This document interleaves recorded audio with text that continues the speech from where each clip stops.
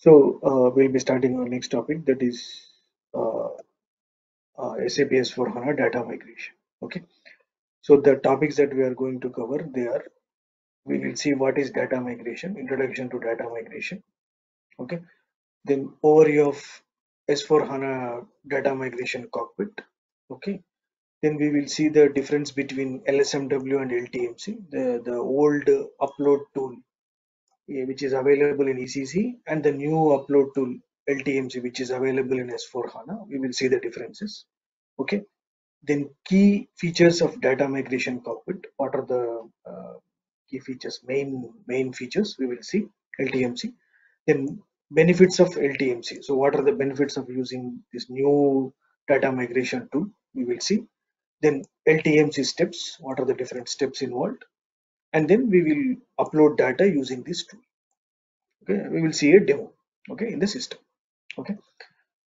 So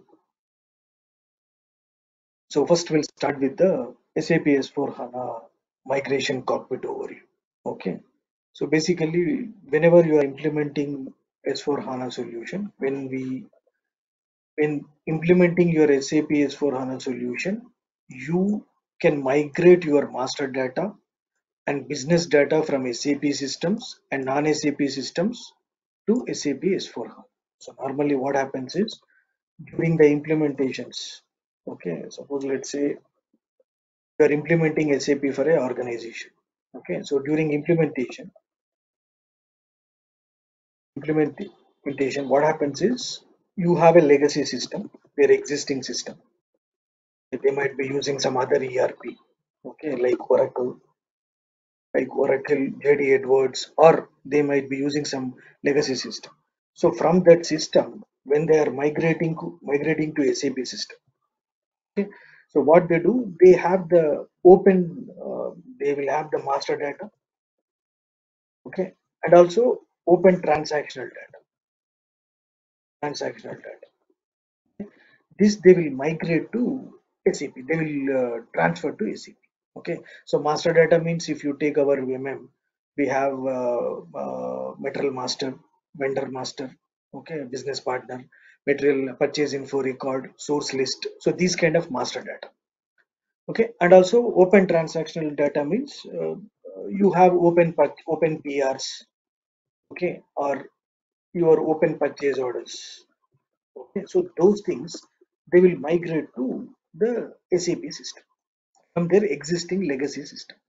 So now, we, normally we create the data uh, uh, using the transaction. Suppose let's say you want to create a material, we use MM01. But let's say you have to create thousand material masters. Suppose let's say you want the legacy system has having thousand materials. Now the thousand material data, if you start creating through using MM01 one by one, it will take a lot of time okay? So for this kind of things what they do you have a upload mass upload tools.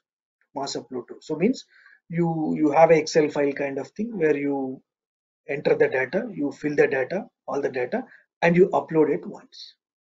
Okay? So that is basically data migration. That is data migration. Okay? So now uh, so in the old in the ECC system basically in the ECC system what happens is we have a tool called LSMW. LSMW. LSMW, Legacy System Migration Workbench. Legacy System, Legacy System Migration Workbench. Workbench. Okay, so it is still available in S4 HANA also it is still available in S4 HANA. So, so let me go to the system, I'll just show you.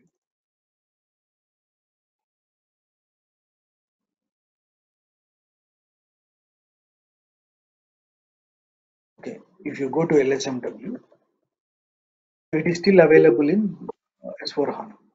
Okay, so here using this tool, you have to uh, upload the data. It will contain steps and all. Okay, so this is the old one which is available in ECC and still it is available in S4 HANA also. But in S4 HANA, what, what they did is they have come up with a new tool. In S4 HANA, they have come up with a new tool called LTMC. LTMC. So uh, what we will, what we are trying to do in today's session is we will be understanding the difference between these two and we will see how to use this LTMC tool, new tool. Okay. So let's continue. Uh, it is it is an alternative to the classic LSMW. So basically SAP has developed this LTMC as a alternative to the LSMW, old ERP LSMW.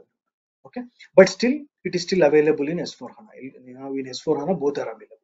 Okay, so the full form of LTMC is LTMC is landscape transformation migration. This is the full form of LTMC.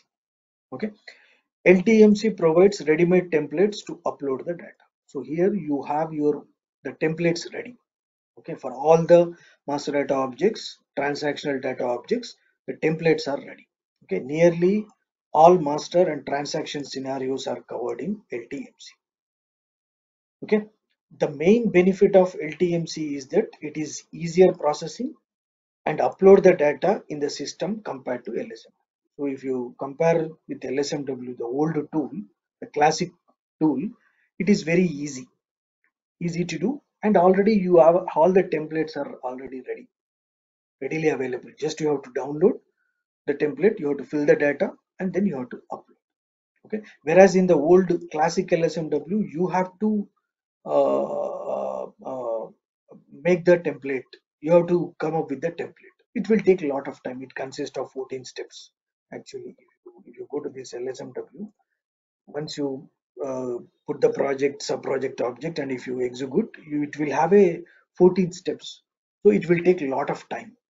Okay? And also it is very uh, um, uh, complicated uh, to do this LS, lsmw that is the reason sap has come up with this simple tool called ltmc ltmc okay so now, uh, before going into the LTMC, we will understand the differences between the old LSMW and the new LTMC. Okay, so here if you see in the old LSMW, you have to do the recording. To do that, to, to create the template, you have to do the recording. Whereas in the LTMC, recording is not required. Okay, and of course, this recording can be usable in both the tools. That's okay now the next one is expertise. So to do LSMW, to carry out LSMW, you need some expertise. Okay, normally this will be done by consultants or, or core users. Okay, but LTMC, no expertise is required. It is very simple to use. Okay, if anybody can do this, end users also can do this, core users can do this, consultants anyhow can do this during the implementation. So it is much expertise is not required.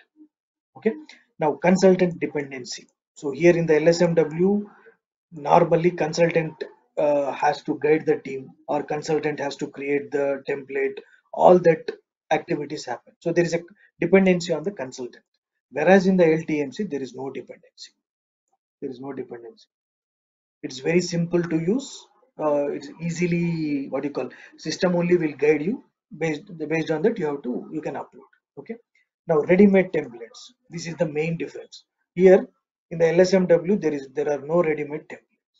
But in ltmc you have ready-made templates okay? For all the master data object i will show you this in the system. And changing the fields. So you can change the fields also. This is of course available in both the both the tools.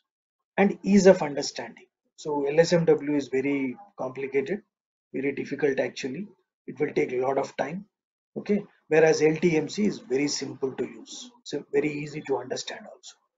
And, and as i just explained the complexity is very high in lsmw whereas in the ltmc it is very huge. Complexity is very so these are the differences between lsmw and ltmc okay? Let's continue. So basically the s4 hana data migration cockpit basically what we will be doing is the the the business the client may have a third party system they may have their third party system or they may have existing sap erp system. From these systems you extract the data and then you will be uploading into s4 hana system s4 hana system. Okay? So that process we will see today. Okay? So now uh, what are the benefits of using ltmc okay. So basically